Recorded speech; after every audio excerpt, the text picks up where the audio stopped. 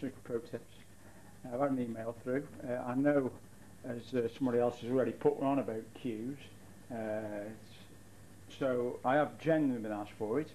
Uh, if anybody wants to know the emailer's uh, name, I'll give it to him with pleasure. So I'm not pinching anything, I'm not stealing anything. It's a question of generally been asked. Cues in general are a very personal thing. Uh, and it's up to the individual what they actually like. What I've actually been asked for is cues and accessories. So if we just take my cue uh, as a for instance, uh, it's a one-piece cue. Uh, it's a Joe Davis Club cue. Uh, it's at least 30 years old. Uh, it is in one piece, as you can see. And the only modification I've, I've made to the cue actually is the ferrule there, which goes with age. and also at the back end, here, if you can just about get that in, uh, I've had a little joint put in the end there so I don't screw an extension on. Uh, if you like to see the plate, uh, there's the plate. So it's a, a, Joe Davis Club cue. And as I say, it's about 30 years old. And uh, I know it's 30 years old because that's how long I've had it. Uh, so it's probably older than that actually, but I've had it for 30 years, so I know it's at least 30 years. Uh, the extension now. So what I'm going to do now is just sort of take the camera out so we can see the extension and the little mini butt this is a big thing now in uh, in snooker these mini butts. And what they're for is when you're just sort of overstretching slightly you screw the mini butt in like so. And so now it makes your cue just that that little bit extra longer. So if you've got one where you're just stretching slightly you screw the mini butt on there and there it is. Now if it is somebody out there is sort of looking to buying a cue. And the best, it, it's all personal preference. Just because I use a one-piece cue doesn't make any difference. I mean, the joints now are very good, so you can have your joint in the middle, so it's a two-piece cue, or you can have your joint, say, somewhere around this area, so it's now a, a three-quarter cue. There's no problem with that at all. It's all personal preference. And I'll, sort of get into that a little bit later on if you're thinking of buying a cue. Now, the extension to this cue actually fits in the butt like this because with it being a one-piece cue I didn't want to split it. So I had the I had the joint put in the butt or I should say the thread put in the butt so now can screw it on the advantage to having the the thread in the bottom is that now actually what I have got because I'm not the tallest player in the world I'm only about five seven five seven and a half but what I have got now is I've got a half butt which is the smaller longer cue when you look on the side of the table there and when I fully extend it it now actually becomes a full butt as well. So even though I'm the, a, sh a short built player, five foot seven, five foot seven and a half, I can reach everywhere on the table so I can go from one corner to the other corner and still reach. This now means that I don't actually need uh, the equipment that they, they put on the sides of tables uh, and I find this quite good. So that could be an idea for you if you are actually buying a cue is to maybe uh, get the extension so it fits in the butt of the cue and thus giving you this option. So basically that's my cue but I have been asked by several people uh, regarding buying cues, how do I go about it, weight.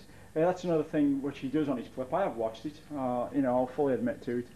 Goes into detail about weight and balance and this, that and the other. Uh, it's too much because what's right for somebody else isn't right for you. So what I advise you do, where it's possible and where it is possible, if it is you play in a club and you've got uh, just some rack cues or people in general who use cues, pick up three or four. So we've got three, three or four here, all different.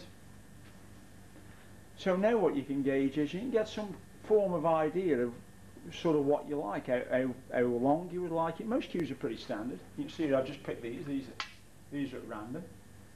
So if I get them all together and put my cue there at the side, you see my cue's roughly about the same length as all of them. You might get some a little bit shorter. But the one thing is where they all differ is they might be a little bit thicker in the butt. This one is roughly the same as my own. This one here is a little bit thinner. This one is thinner still. And this one is somewhere in the middle. The other thing is the type of wood you want it to be made out of. Uh, mine is ash. This one here is maple. uh, and all rosewood butts. This I think is a darker rosewood. Uh, so all in all, cues are very different and very personal to each individual player. So if it is now you're thinking about buying a cue or you want to invest in buying a cue, but you're not quite sure what to look for, just take a few cues out the rack, pick them all up, and, and just, it's all on feel. Which one feels right to you? So now, if I, if I hadn't got that one, I've got to take the pick now. I just go through all four and try various shots with them, how they feel. And from then, then I start working out how heavy I would like the cue because I can weigh it, how long I would like the cue because I can measure it, how thick I would like the cue here because again, you feel it in your hands, you measure it. And again, the tip size, this one hasn't got a tip on it, so I'm just taking out the rack.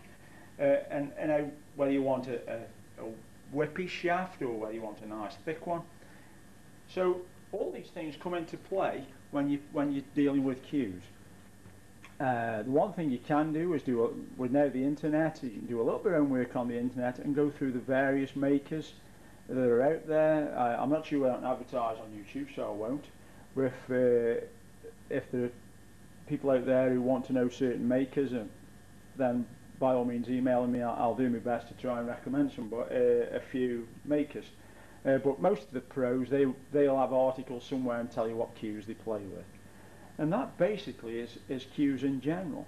Don't worry about the weight. Don't worry about balance points and all the rest of it.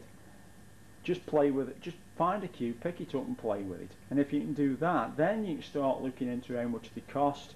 Again, set yourself a budget. The most expensive cue won't be the best one. If you have a cue that costs a million pounds, it won't make you a world champion. Uh, if it is you find a cue that costs you a tenner and you like it, there you go. If it is now you're struggling uh, with overseas and you're sort of struggling with cue makers and whatever have you, this now becomes a little bit more tricky because obviously you've got to get the cue shipped out to yourselves. So on that uh, side of it, that now is very difficult. So the best thing you can do there again is, is same as I've said, and then hopefully you'll get a nice cue that's uh, sent out there to you, but it's no exact science. It's very difficult, in fact. So where you can, try and get the cue at all times so you can feel it and how you want to play with it. Uh, and basically, that's cues. But please, don't worry too much about weight. I don't know the weight of my cue. I don't know the length of my cue. The tip size, I've got a rough idea, it's about 10 millimetre, and that's that's all I know. Because it, I've had it that long now, picked it up from when I was a young boy, uh, and, and played with it ever since.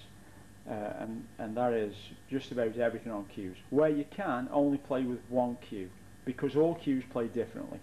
If it is you get two cues, they may come from the same piece of wood, they may have been made by the same man on the same machine. Oh, by the way, my, cue's machine spliced and hand spliced. Uh, they may be made by the same man, and yet they will play completely different. So, cues very difficult. It's one that you like, not the one that somebody tells you. If it is you've got somebody who plays in the same club as you, again, just ask them if you can have a hold of his cue, see what it feels like, see how it plays, and then take it from there. And uh, cues, that's basically about it. Uh, they haven't changed anything in the last 60, 70 years or so. Uh, and hopefully that'll answer a few questions. But please don't worry about balance points, don't worry about length, don't wor worry about weight. It's all what feels good. So remember, just pick a few cues up, have a little trial run, and just give just take it from there. The other thing is, like like I've said, give yourself a little budget as you want to you want to stick to or you're willing to pay. Because also the other thing which you need with a cue is a case. The case is one of the most important things because that looks after your cue. Uh, the one thing I will say to you is that once you have bought a cue and you like it, that cue will last you for as long as I've had mine, which is 30 years, and I plan on using this cue now for however long, another 30 years, 40, 50 years hopefully. Uh, so uh, that's about it with cues. I uh, hope you've enjoyed the, the video. I uh, hope it's not been too boring and I've talked too much. This has been Snooker Pro Tips. Thank you for listening. Thank you for watching. Thank you.